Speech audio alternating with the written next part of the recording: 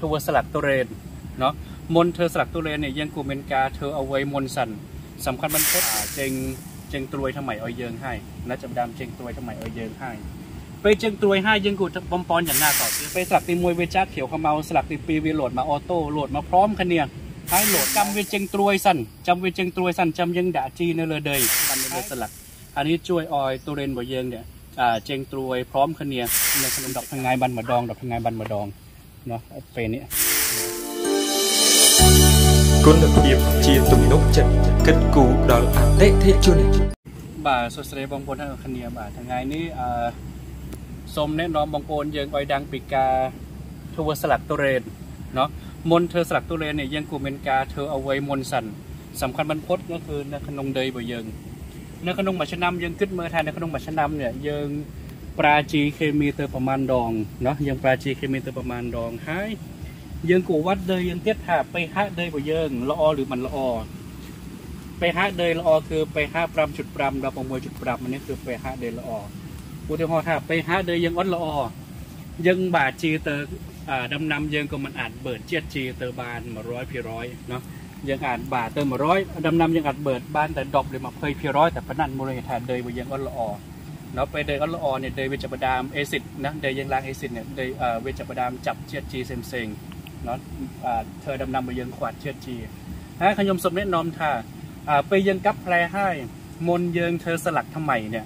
យើងគួរមានការបំពន់ដីរបស់យើងសិនឧទាហរណ៍ថាយើងបាទប្រភេទសារធាតុកែប្រែដីក៏បានណោះសារធាតុកែប្រែដីយើងបាទហើយបានប្រមាណ1 2អាទិត្យប្រមាណ2អាទិត្យយើងក៏ចាប់ផ្ដើមធ្វើស្លឹកទី1ណោះស្លឹកទី1 ស្លឹកទី1យើងធ្វើយ៉ាងណាស្លឹកទី1នេះឲ្យងាយបំផុតណោះបាទជីអូរ៉េទៅទៅណោះមួយដើម1គីឡូបាទជាអូរ៉េបាទហើយស្រួយទឹកយើងចាំនៅ15ដល់20ថ្ងៃចាប់ផ្ដើមចេញចេញត្រួយថ្មីឲ្យយើងហើយណាចាប់ផ្ដើមចេញត្រួយថ្មីឲ្យយើងហើយពេលចេញត្រួយហើយយើងគួរបំពន់យ៉ាងណាតទៀតណាដោយឧទាហរណ៍ថាអានេះ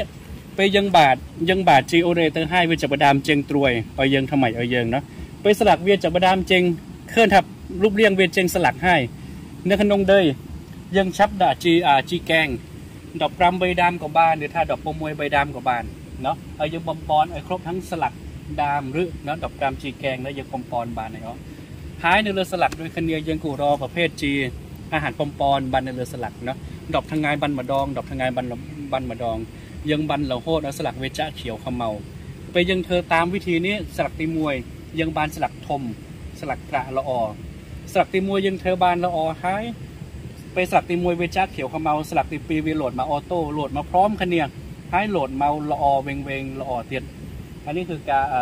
ការត្រៀមដាមការធ្វើស្លាកទី1เนาะសំខាន់បំផុតគឺយើងធ្វើដីឲ្យល្អសិនយើងយើងកែប្រែដីឲ្យ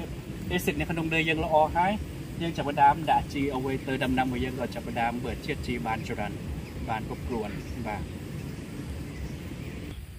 បាទក្រោយពីយើងបានស្លាកទី1ស្លាកទី1យើងចាក់ជ្រាវខ្មៅហើយដំណាំរបស់យើងចាប់ផ្ដើមលោតស្លាកអូតូស្លាកទី2ឲ្យយើងអូតូហើយដោយឧទាហរណ៍ដោយដើមនេះណោះដោយដើមនេះពេលយើងយើងបានអានេះស្លាកទី1វាចាស់ស្លាកទី2លោតមកណោះលោតមកបានតែប៉ុណ្នេះណោះប៉ុណ្នេះអត់ទួនស្លាកវាអត់ទួនលាស្លាកវាអត់ទួនលាយើងចាប់ផ្ដើមដាក់ជីកែងដូចគ្នា15 3ដើមក៏បានឬថា16 3ដើម នៅលើស្លាកណោះយើងក៏បានជីបំពន់នៅស្លាកនៅខាងកំពុន W វិទ្យាល័យយើងក៏មានប្រភេទជីទឹកណោះបានបំពន់នៅលើស្លាក10ថ្ងៃបានម្ដង10ថ្ងៃបានម្ដងរហូតស្លាកវាចាក់ខៀវខ្មៅបាទអានេះគឺការថែទាំស្លាកទី2ណោះយើងបានរហូតណោះឲ្យស្លាកវាចាក់ខៀវខ្មៅស្លាកទី2យើងធ្វើតែប៉ុណ្ណឹងណោះនិយាយថាការដាក់ជីការដាក់ជីយើងចាំវាចេញត្រួយសិនចាំវាចេញត្រួយសិនចាំយើងដាក់ជីនៅលើដីហើយចាំយើងបំពន់ជានៅលើស្លាក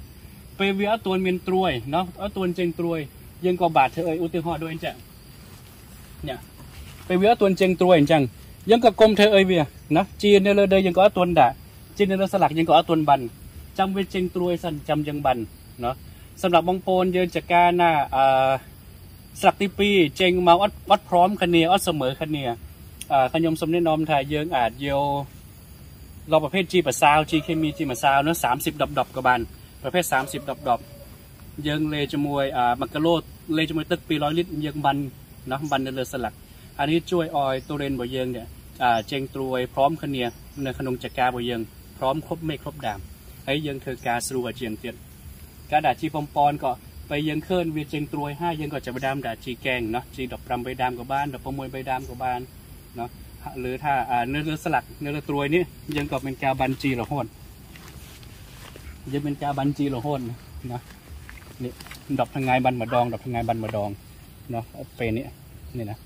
10ថ្ងៃបានម្ដងវាស្លាក់វាចាក់ខៀវខមៅយើងធ្វើតាមនេះយើងបានរហូតស្លាក់វាចាប់ពេលគ្រប់អាយុហើយស្លាក់របស់យើងក្រាក់ខៀវខមៅល្អហើយ